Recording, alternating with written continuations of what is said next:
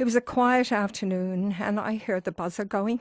Um, and I got up, I said to Dermot, you know, my turn, I'll get up and serve. And I got up to serve him, and he was at the gateway to our counter to come in, and he started to shove at me, and he was screaming.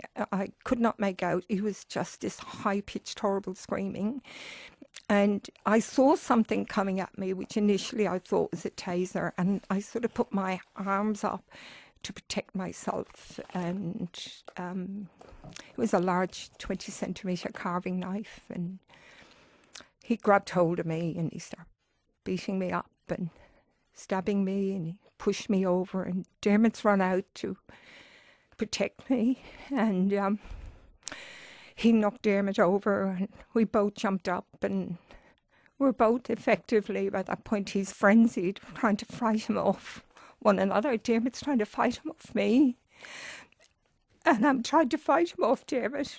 And um, he's a huge block. He's these huge shoulders and he he has literally picked me up and he's just fired me six foot across the room and I smashed into a glass plate glass cabinet which shattered into my back. Um, I've then jumped up and he's knocked Dermot over on the floor, and Dermot's put his legs up in the air trying to protect himself.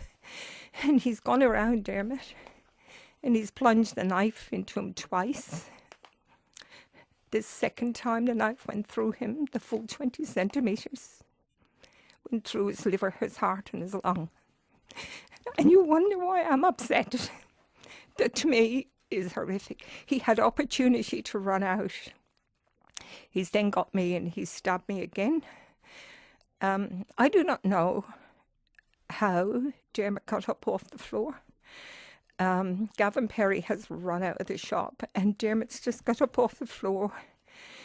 And we're both just shell shocked and we're initially not saying anything to one another. And then Dermot's just looked at me and his last words to me was, Call an ambulance, I've been stabbed just prior to him saying that, Gavin Perry is running out the door, and this wasn't reported.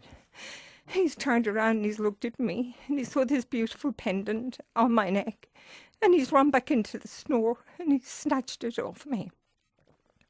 And that's when Dermot said it to me, and he was so white. Um, I've just raced to grab the phone. Uh, I was hysterical. By that point, um, people had run in because the screaming screams of Gavin Perry and I was screaming for help were horrendous and they two passerbys ran in and they were so kindly doing CPR on him and every compression just sent volumes of blood out of his body. I had to watch that. I had to watch him die in front of me. and I just don't think 20 years is justifiable. Gavin Perry had a couple of opportunities to run out of our store. He was frenzied, he was premeditated, uh, he stole a knife, he knew what he was doing. Can I ask you, Neil, if you were working a business and this happened to you and your wife, would you be happy with 20 years? and two years from my stabbing, which I was stabbed several times. I had to have plastic surgery. Would you be happy? I don't think anybody would be. And I think I, I, know it's so painful to describe it again, but the, because you describe it, it illustrates the paucity of the sentence. It, it, it illustrates why this isn't enough. It's not enough, Neil, and I know no sentence will ever be enough for us. And the judge in her summation I will have to say was excellent. And I do believe the judge was acting in the parameters of what she can act. Um, and I don't know, a murderer's life in Victoria. 20 years for what happened. Um, it's just, uh, yeah, I'm sorry. I just don't get it.